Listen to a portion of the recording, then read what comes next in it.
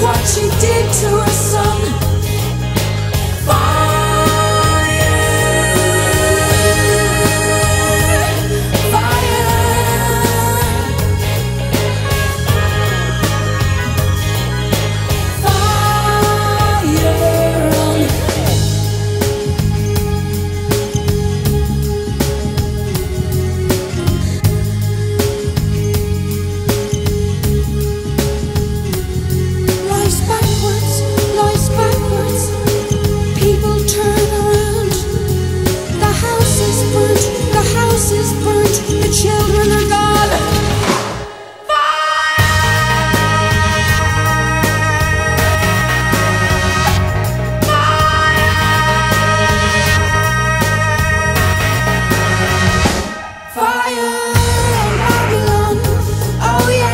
change has come.